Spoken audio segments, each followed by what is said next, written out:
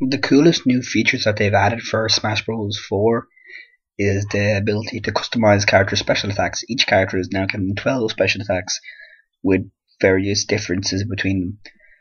Um, I know they've said that only Palutena and the Mii fighters will have fully on 12 fully special different attacks, and that the specials that we see from the other characters will just be variations.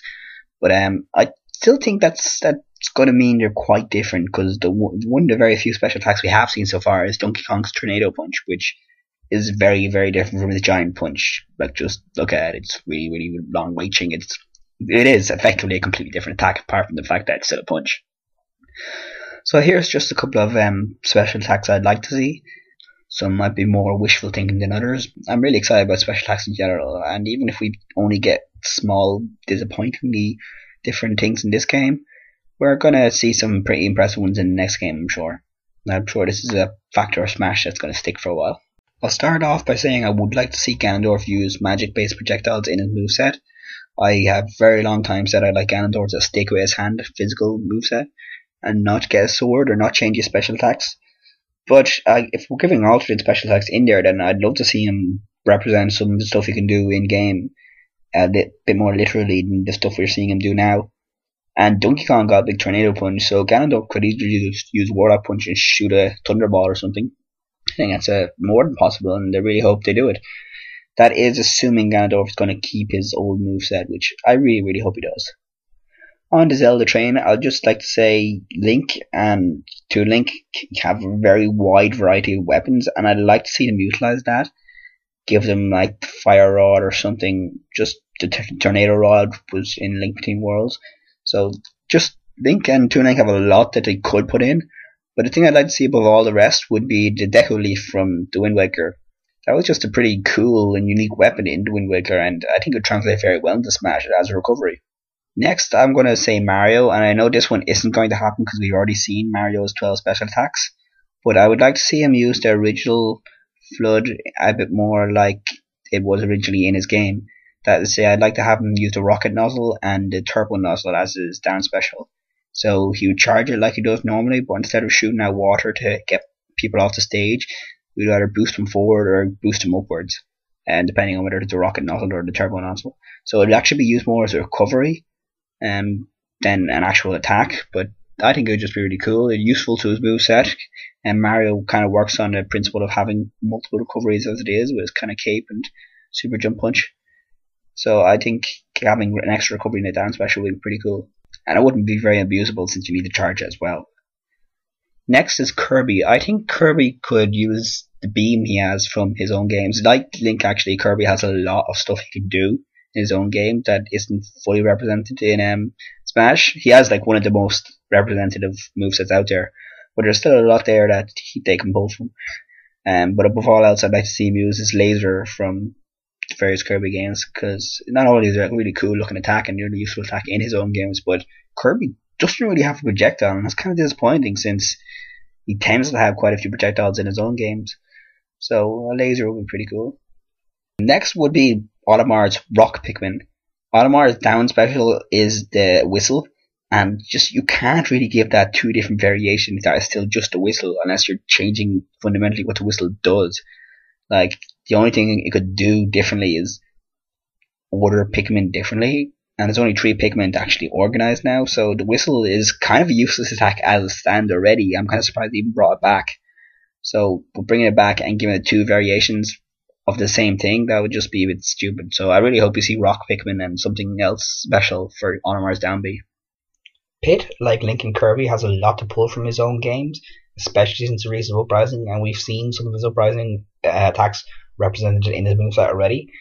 But I think it would actually be cool to see some of the older attacks in there as well. So bring back the Mirror Shield, bring back Angel Ring as alternate side down specials, even though Angel Ring was a really annoying attack. The sound he makes when he does it.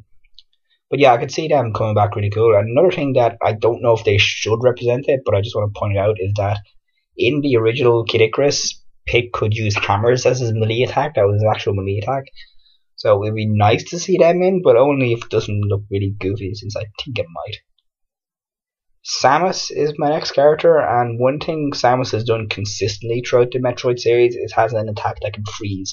It's like one of her most useful attacks in Metroid games, and it's plot relevant. It's the only way she can deal with Metroid. So some kind of freezing attack is kind of necessary almost to represent Samus properly, yet they haven't done it so far. I used to say make it her forward smash and ice beam, Uh, have a freezing effect on her forward smash, but now that uh, we're getting variations, I think a very very good one would be to use ice missiles for her side B. Ice missiles is a thing she has in her own games. So give a freezing effect on her side B instead of a pure power effect. Next is the Fire Emblem characters. Marth's down special is counter, and like Olimar, I don't really see them pulling off two different variations of this attack, especially since so many other characters have counter now. I suppose you could change the frame rate between the characters to give them more powerful counters with that are more risky to use, but that would just be the same attack for all characters when you have a lot of potential here. So for Marth anyway, I would like to see him use the Shield of Seals from his own game.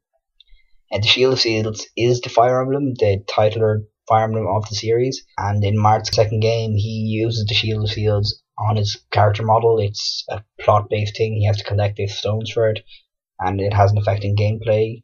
So it's it's pretty cool part of his character and something I'm kind of surprised they haven't actually implemented into his moveset yet. Instead, they went a more generic Fire animation moveset. And when Sakurai says there's just going to be variation of the specials we have already, I hope that means that Marth's down special counter would just be a defensive move instead of just a different type of counter. So have the shield seals as his defensive down special, maybe working a bit like Pit's mirror shield did in Brawl.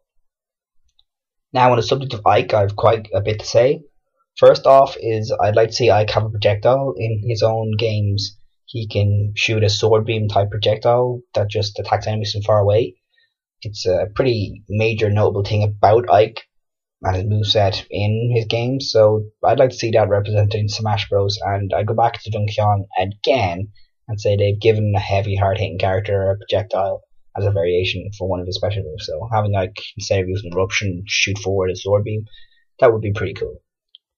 Next is Ike's. Uh, I don't really know which attack I'd give this to Ike for, but I'd like to see Ike using axe, maybe as a var- variation of quick draw or his counter in Radiant Dawn, I can use axes upon promotion, and he even has a plot-based axe that belongs to him, that belonged to his father. So it'd be pretty cool if I could use an axe in some way. It's the unique thing about his character that differentiates him from a lot of other other lords in the series. Lastly, on Ike's recovery, something I'd really really like to see is Sol and Luna. To give a bit of explanation, in Fire Emblem, Aether is a combination of two different special attacks It's a combination of Sol, which heals the user, and Luna, which deals major damage by ignoring defense. So I'd like to see Ike's variations of Aether being Sol and Luna. One where sacrifice his recovery ability in order to heal yourself with the attack, another where you sacrifice your recovery ability in order to deal major damage. So it's a lot like his other attacks, with most of them killing blows. I think these would be great attacks. Not only would it represent the ability in Emblem very well, it would have a lot of risk and reward to it because recovery is very bad already, but making it worse, you're kind of limiting yourself a lot to just quick draw. But they're still two really, really useful attacks. And we've already seen a healing move in terms of Robin's Nosferatu, so it's not completely out of the ordinary to have another one now. So that's just it for the special moves I'd like to see. I could go on about a lot more characters, but I just wanted to limit it to just a few that I'd like to see most, and mainly from characters that have been seen already, except Ganondorf, I just wanted to say a little bit more about. So tell me what special moves you'd like to see or what variations of special moves, and let's get excited about the next Smash Bros. game.